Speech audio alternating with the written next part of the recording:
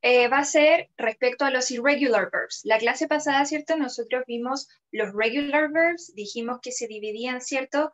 En tres categorías. ¿Qué me puede decir cómo, ¿cierto? Clasificábamos los uh, irregular verbs, los verbos irregulares. Perdón, los regulares, ¿cómo los clasificábamos? Habían tres categorías, ¿cierto? Y cómo los íbamos clasificando de acuerdo a qué parámetros, ¿cierto? Se podían clasificar los verbos regulares a los que se les agregaba ed al final. Recuerden, chicos, yo tomo nota de las personas que participan en la clase. Todo esto va a ir después, ¿cierto? Una nota de participación. Ok, Javier dice, por su pronunciación, perfecto, ¿cierto? Habían tres formas de pronunciar la ed al final. Diego dice, se podía, podían ser la ED, ¿cierto? Pronunciada como una D, una T o una ID. Ok, ¿me pueden dar un ejemplo de un verbo, ir, o sea, perdón, regular que se pronuncie, ¿cierto? Que la pronunciación sea ED al final. ¿Un ejemplo?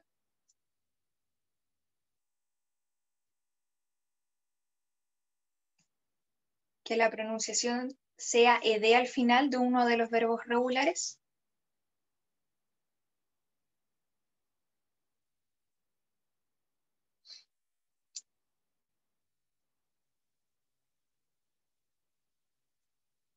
Luego teníamos los otros que terminaban en T, ¿cierto? Y los otros que terminaban en D. Ok, Diego dice texted, ok. Esa ED, ¿cierto? Suena como una id, ok, good. What about verbs ending in D? Verbos que terminaban como una D. Como por ejemplo el verbo call, ¿cierto? Llamar, called. Uno no dice called, ¿cierto? Suena como raro called. Tristan dice danced. Danced en ese caso sonaría como una T, ¿cierto? Uh, deleted, deleted, good. Uh, what about walked? Walked, el, el, verbo que escribió Diego en el chat. Walked, ¿cómo que suena? ¿Una D, una ed o una T? Walked. Es una T, very good. Uh, what about the verb invited? What about the verb invited?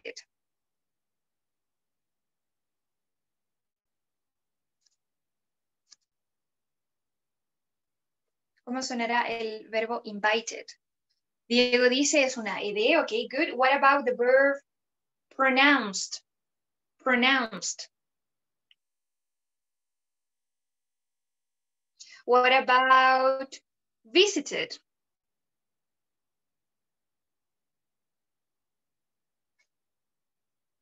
What about the verb visited? Very good. What about the verb um, asked? Cuando uno pregunta, ¿cierto? Uno hace una pregunta, asked. Es una T, very good, Dio. What about um, invented? Invented. Inventar, ¿cierto? Invented, en el pasado inventó, inventaron, ¿cierto? Invented.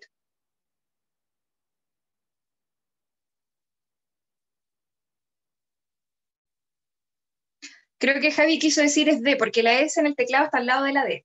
Invented. Invented. What about that verb? ¿Qué hay de ese verbo? Invented.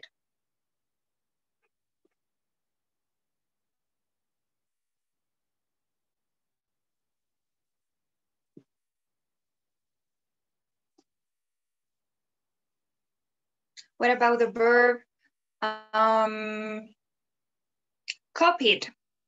Copied de copiar, ¿cierto? Copied.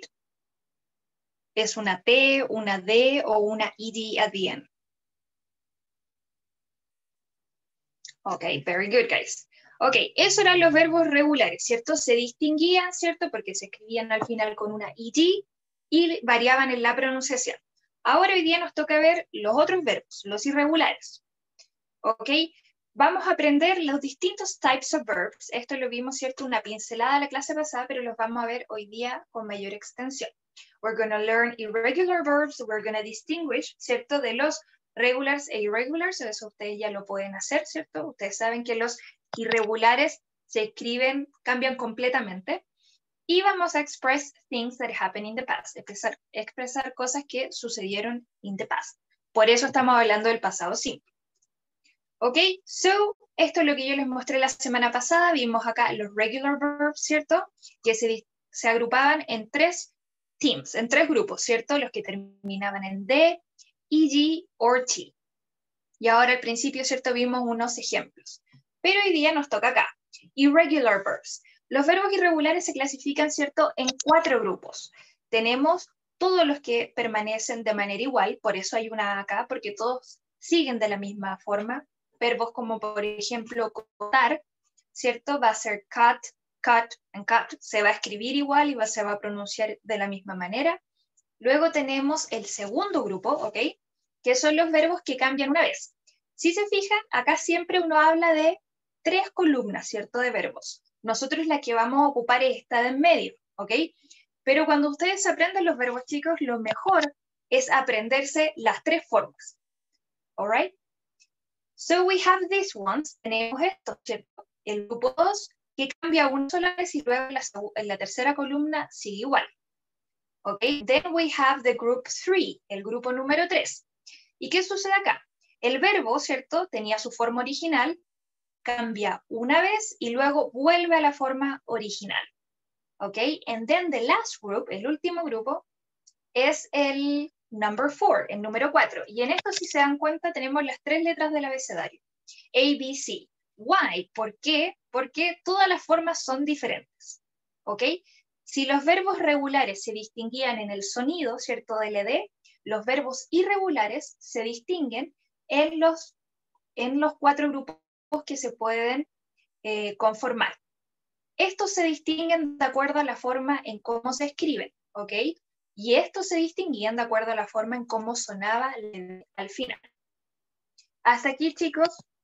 ¿Preguntas, dudas? Recuerden, estos de acuerdo al sonido y los de acá, los irregulares, a la forma en cómo se escriben.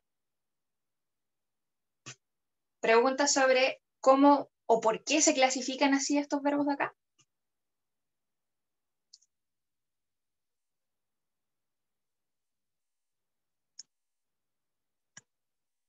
Javi, Diego, Joaquín, any questions, preguntas, dudas hasta aquí?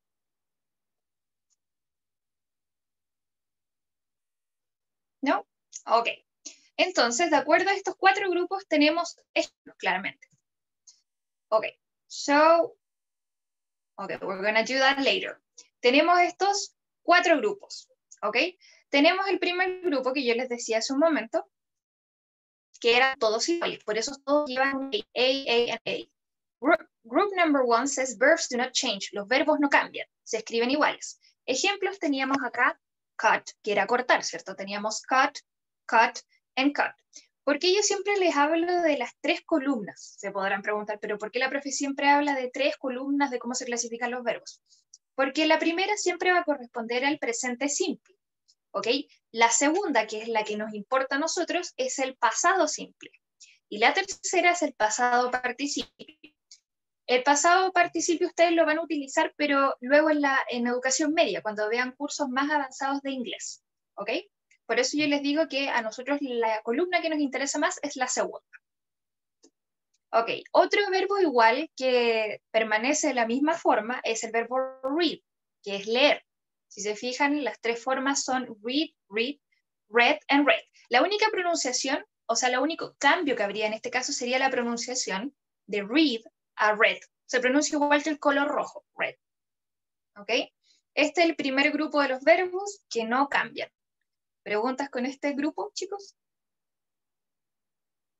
Estos son solamente dos ejemplos, ¿cierto?, de los verbos que no cambian y todos pertenecen a la categoría AAA. Then we have group two, el segundo grupo, que, ¿cierto? Dice, verbs change only one time. Los verbos cambian solamente una vez. ¿Ok? Y ejemplos son como, por ejemplo, el verbo build, construir, ¿cierto? Que cambia a build. Y luego en su pasado participio quedan build también. Luego tenemos este verbo que es sleep, que es dormir, algo que a todos nos gusta hacer, supongo. Y el verbo cambia solamente una vez. Slept and slept. Entonces, el segundo grupo corresponde a los que cambian solamente una vez. Then we have the group three, el grupo número tres, que estos verbos lo que hacen, dicen, mm, quiero cambiar. Cambian una vez, pero no les gustó el cambio, así que vuelven a su estado original. ¿Ok? Por ejemplo, en verbos como come, ¿cierto? Venir, llegar, ¿cierto?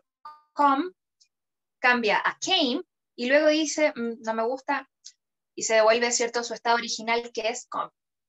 Igual que become, ¿cierto? Become pasa a ser became y luego vuelve a su estado original de become. ¿Ok? Este es el grupo número 3, que cambian una vez, pero después vuelven a su estado original. And then the last group son los más rebeldes de todos, porque no les gusta ningún cambio. ¿Ok?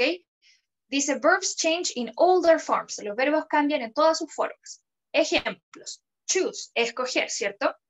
No shoes de zapato. Choose, ¿ok? Choose cambia a chose y dice, mm, no me gusta, y cambia a chosen. ¿Ok? Tenemos choose, chose y chosen. Lo mismo sucede con eat, ¿cierto? Eat, comer, cambia a ate, comió, comieron, ¿cierto? Y luego cambia a eaten. Si se fijan, las tres formas escritas son diferentes. Tenemos A, B y C. De ahí que viene la clasificación, chicos, de acuerdo a las letras, porque es más fácil, ¿cierto? Ver si el verbo volvió o no volvió a su estado original, o si se cambió otra vez, o si se quedó con el mismo cambio, o si nunca cambió y permaneció de la misma forma. ¿Preguntas, chicos, hasta aquí con esto de la explicación de los cuatro grupos de los irregulares?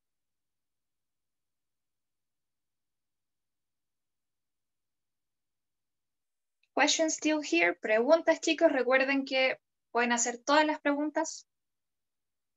Tenemos, ¿cierto? Cuatro grupos y se distinguen de acuerdo a la forma en que se escriben. ¿Ok? Esa es lo que ustedes tienen que saber. Tanto verbos regulares como irregulares usan did, el auxiliar. ¿Se acuerdan que en el presente nosotros utilizábamos do and does? ¿Ok? Do and does, right? Utilizamos do and does.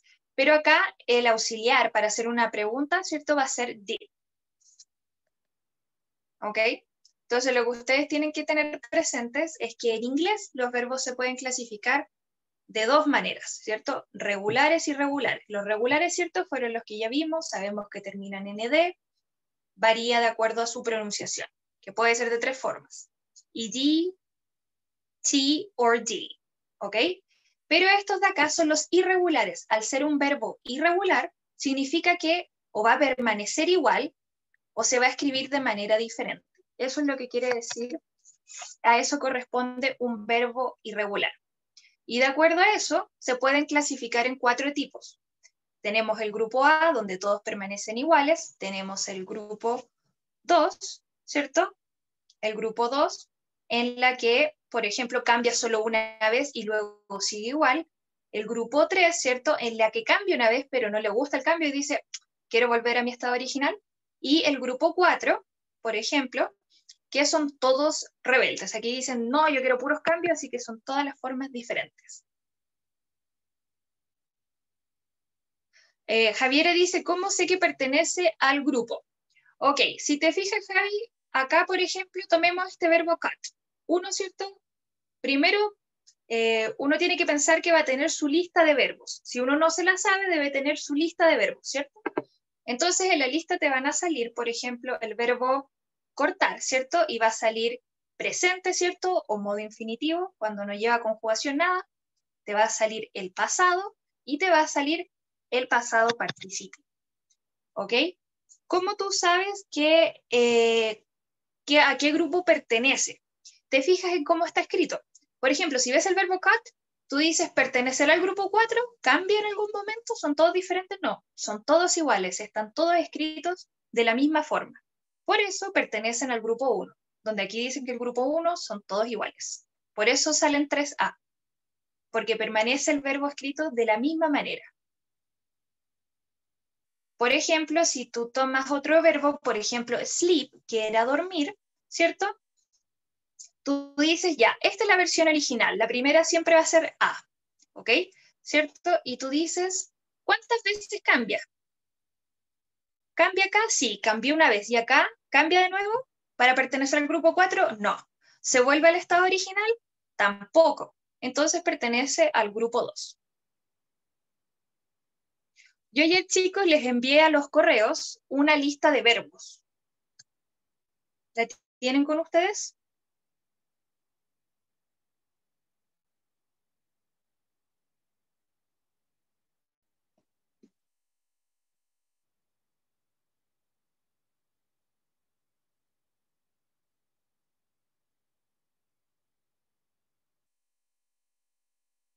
Ok. Denme un segundo, chicos, les voy a compartir en la pantalla, ¿cierto? La lista que yo les envié a sus correos.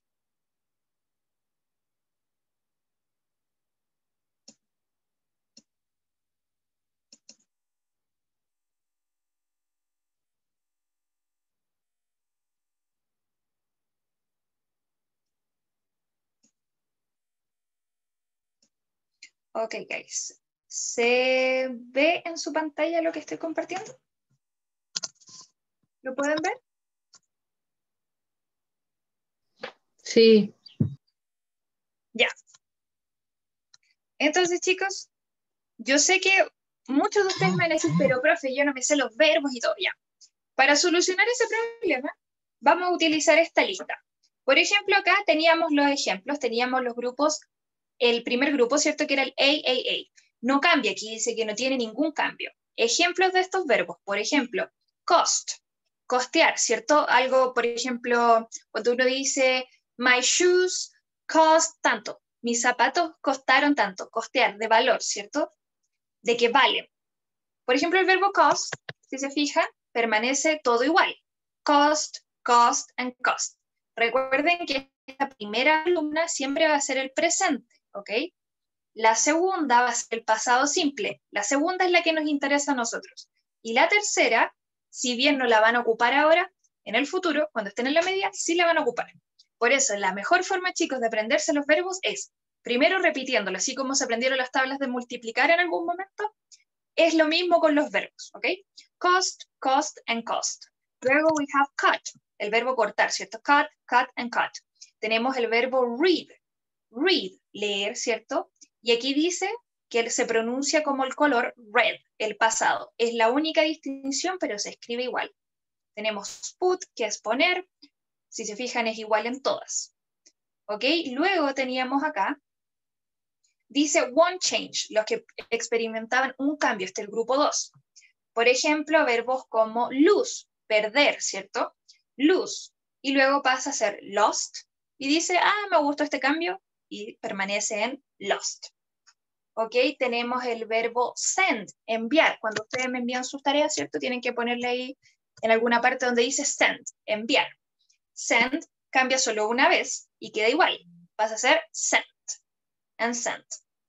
Luego tenemos verbos como por ejemplo think, ¿cierto? Pensar, lo que ustedes están haciendo ahora mirando esta lista increíble de verbos.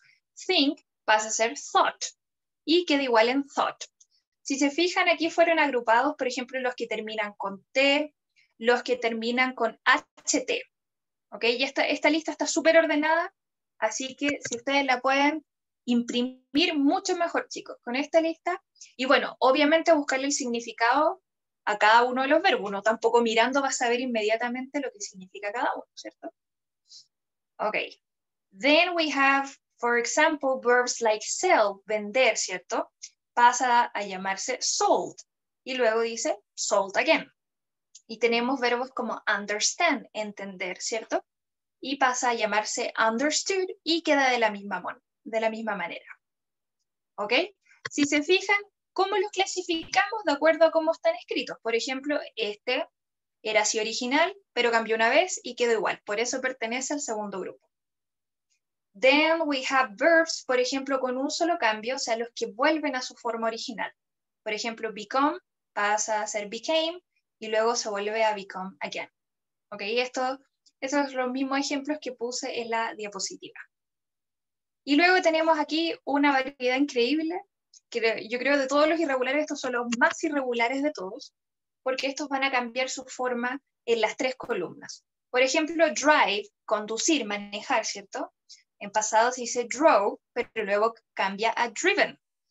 El verbo eat, algo que nos encanta a todo, que es comer. Eat, ¿cierto? Pasa a llamarse ate and eaten. Luego forget, olvidar, ¿cierto? Pasa a llamarse forgot y luego a forgotten. Por ejemplo, write, en el pasado se escribe wrote y luego cambia a written. ¿Ok? Preguntas, chicos, dudas. Esto fue lo que yo les envié a sus correos ayer en la tarde. ¿Ok? Y acá, ¿cierto? Sale un apartado de los regular verbs, los que ustedes ya conocen, y ahí dice que se les agrega ed. Y ustedes además saben que se distinguen de acuerdo a cómo se pronuncian.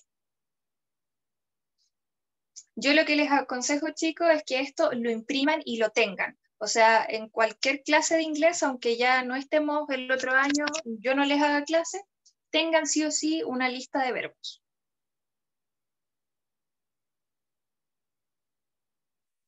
¿Preguntas, dudas hasta aquí, chicos?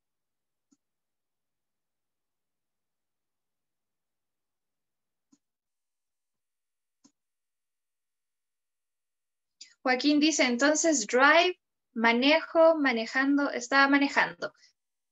Si lo traduce sería, sería manejar, manejó, y el otro sería manejaba, ¿ok? Eh, pero concéntrate más en las primeras dos columnas, ¿cierto? Lo que significa sin usar el pasado y el pasado simple, que siempre la terminación va a ser manejó, comió, saltó, vivió, etc. ¿Ok? All right, guys. Y ahora, chicos, ¿se ve la presentación en sus pantallas? Aún no, profesora. ¿No? A ver.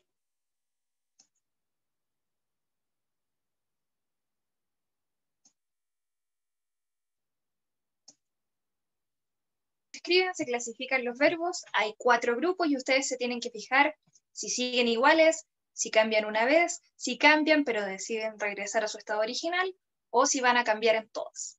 ¿Ok? So, with this one, in this one, lo que teníamos que hacer, tenemos aquí estos verbos, ¿cierto? Tenemos el verbo drive, manejar, tenemos send, enviar, find, have, ¿cierto? Find es encontrar, have, tener, cut, ¿cierto? Cortar, make, hacer, y do también son sinónimos, ¿ok? Speak, hablar, learn, aprender, ¿cierto? Say, decir. Tenemos acá el famoso verbo to be, cero estar, ¿cierto? Tell, decir, put, poner, write, que es escribir, read, leer, y give, ¿cierto? Que significa dar.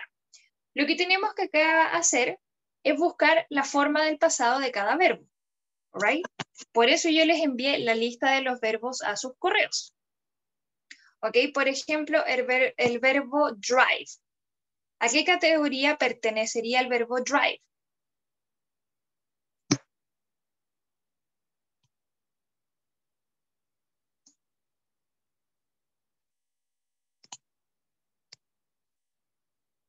¿A qué categoría pertenecería, cierto, el verbo drive?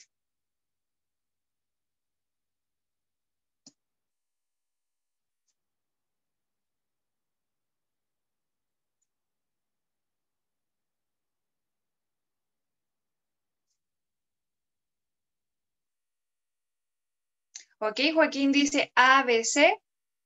Ok. Ok, What about, we're going to do something. Vamos a hacer algo, chicos. Necesito que elijan solamente dos verbos de estos que salen acá en su pantalla. Solamente dos y que los anoten. Ténganlos anotados ahí. Y luego yo les voy a poner la lista y vamos a ir viendo a qué categoría pertenece cada uno. ¿Ok? Solo elijan dos de estos verbos, anótenlos y luego vamos a recurrir a la lista. ¿Ok? Para la otra clase, chicos, eso sí, todos tengan su lista ya impresa en su cuaderno o a mano en su computador para que la puedan chequear. ¿Ok? Alright, so elijan solamente dos. Tienes que elegir dos verbos de estos que salen aquí en la pantalla. Tú los eliges, los que quieras, estos que están acá. Pueden ser dos. Anótalos, ¿cierto? Recuerda cómo se escriben y luego los vamos a buscar en la lista para saber a qué categoría pertenece. Ya, ya lo hice. Da lo mismo si no sé lo que significa. It doesn't matter, da lo mismo. Vamos solamente a ver, ¿cierto? A qué categoría pertenecen de acuerdo a cómo se escribe, la forma en pasado. Ok, entonces, ahora chicos, yo voy a compartir de nuevo pantalla. Aquí vamos. Entonces, por ejemplo, Patricio, tú elegiste dos verbos. ¿Qué verbos elegiste? Drive. Ok, drive. Tenemos que buscar, ¿cierto? El verbo drive. ¿Está acá en esta primera columna? ¿Se ve? No. No, no está allá. Listo. What about this one? La segunda, ¿cierto? El segundo grupo, los que cambiaban solamente una vez. Busquemos. ¿Está acá? ¿En esta parte? No, ¿Se pero sí está otro verbo que tengo. ¿Cuál, ¿Cuál es el otro que tienes tú? Make. Ok, O sea, shape, make. shape, shape. Shape, está arriba de make. Have. Este, have, ¿cierto? Tener. Ya, si tú te fijas, esta es la forma original del verbo, en presente, have. Luego el verbo cambió a have. Y luego cambió una vez más. ¿Cambió o no? ¿Quedó igual? Tú dime, ¿quedó igual Cambió a una la pura segunda vez. forma? Cambió una pura vez. Entonces pertenece, ¿cierto? Al segundo grupo, que son los que cambian solamente una vez. Así ustedes se dan cuenta, es súper fácil. Por ejemplo, si tomamos el verbo sell, vender, y uno dice, ay, lo mira digo, ¿a qué grupo pertenece? A ver, cambió solo una vez. Ok, sold. Y veo a qué grupo pertenece. Ok, what about the rest, guys? ¿Qué del resto, chicos? What about the verbs you chose? Los verbos que eligieron ustedes. Javiera, Joaquín, Antonia, ¿qué otros verbos?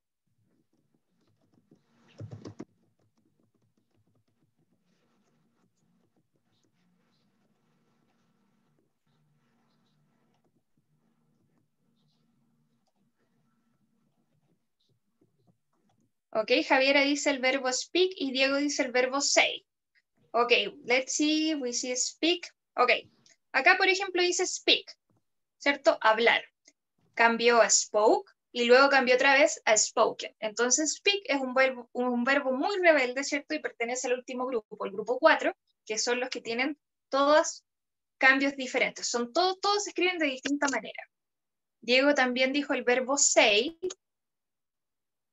Ok, vamos a ir más arriba. Say, por ejemplo, acá. Say, decir, ¿cierto? Dijo. Cambió una vez y luego permaneció igual. Ok, es eh, pertenece al mismo grupo que el verbo have. Ok, Javiera dice el verbo do. Ok, verbo do, let's see. Here it is, do. Ok, do cambió a did, ¿cierto? Y luego cambió a done. Entonces el verbo pertenece al último grupo. ¿Ok? Be es igual que el verbo do, ¿cierto? Porque pertenece, ¿cierto? Las formas de be son are, am, and is. Y luego todas ellas cambian a was o were. Tenemos dos alternativas. And been.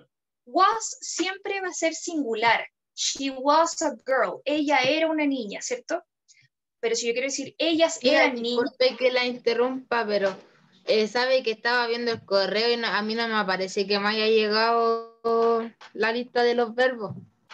¿No te llegó? Es que, ¿sabes qué? Yo, yo no tengo todos los correos de todos. Ese es el problema. Lo que podríamos hacer para evitar eso es en un Word que yo misma se los voy a enviar, necesito que todos me vayan anotando sus correos. Y así todos van a recibir todo completo. ¿Ok? We can do that. Pero chicos, para esto los, los verbos irregulares sí o sí van a necesitar esta lista, ¿ok? So next week, la próxima semana, sí o sí, ténganla con ustedes. Si se fijan, estos se clasifican de acuerdo a los grupos en cómo se escriben. ¿Ok? So we're gonna continue. ¿Ok? We're gonna go. Vamos a volver a la, ¿cierto? A la presentación en la que estábamos.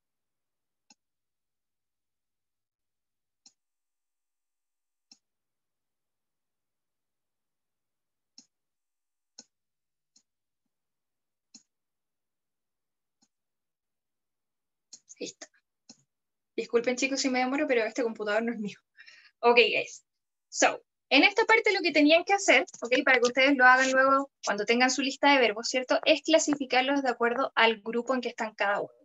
Alright? And in this one, aquí, ¿cierto? Estaba para clasificarlos todos, ¿ok? Entonces, cuando ustedes tengan su lista, ¿cierto? Igual las pueden buscar en internet, pero la que yo les voy a enviar está como más resumida y ordenada. Em, pueden irlos clasificando así. Los que no cambian, los que cambian una vez, los que cambian pero se devuelven a su estado original y los que cambian siempre. ¿Ok? Otra cosa importante de saber con el pasado simple, chicos, que salió al principio, era que todos los verbos, ¿cierto?, utilizaban did. Did es como el you y el das del presente, pero es el primo y el primo se llama did en pasado. Lo bueno de did es que se usa con, todas las, con todos los pronombres. No hay distinción entre si es plural o singular. Recuerden que el did lo utilizábamos para las preguntas al principio. Uh, did you go to the movies yesterday? ¿Fuiste o fuiste al cine ayer? ¿Fuiste al cine ayer? Did you go to the movies yesterday? Y si prestan atención, el did va a ser quien lleve la ocupación en pasado, ¿ok? Pero eso ya lo vamos a explicar. Acá, chicos, la otra actividad que debíamos hacer, ¿cierto? Es poner, ¿cierto? Netamente los verbos in the past. ¿Ok? Por ejemplo, she, la, la, la, her car last night.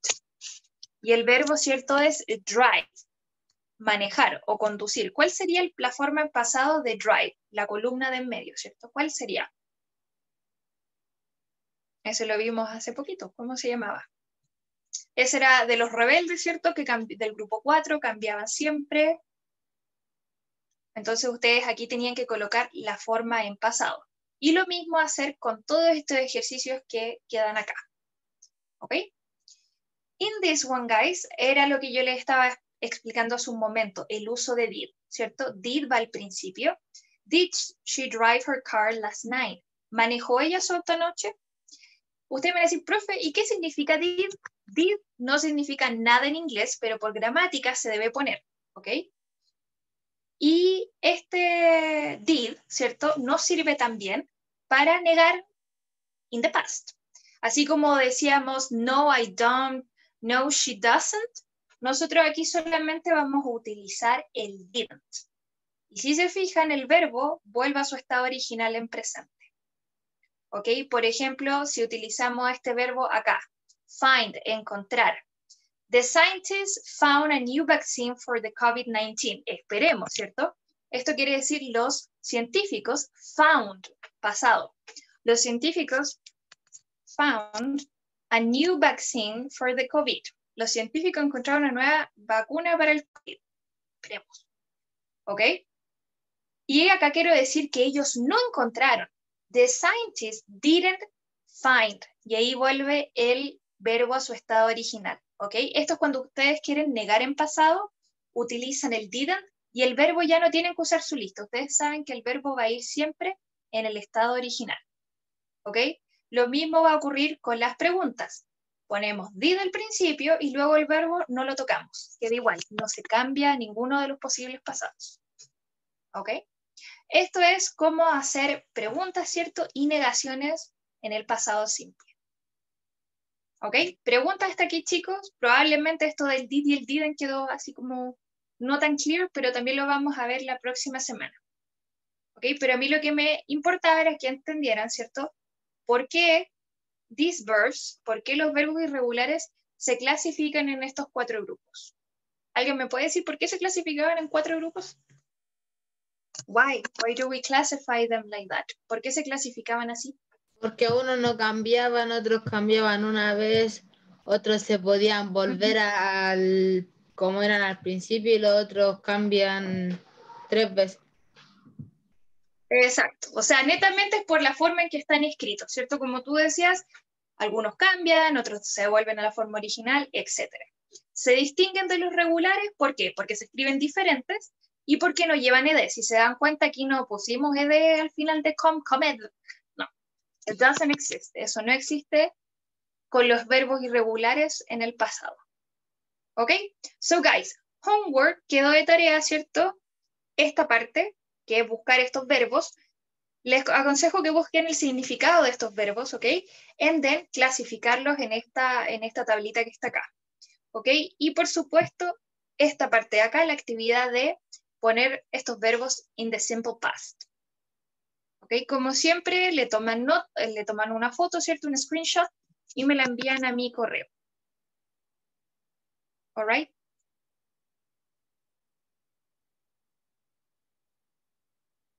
y yo les voy a hacer llegar la lista, se las voy a, la voy a subir también a los recursos de WebClass para que la puedan descargar. ¿Preguntas, dudas, chicos, hasta aquí con esto de los verbos?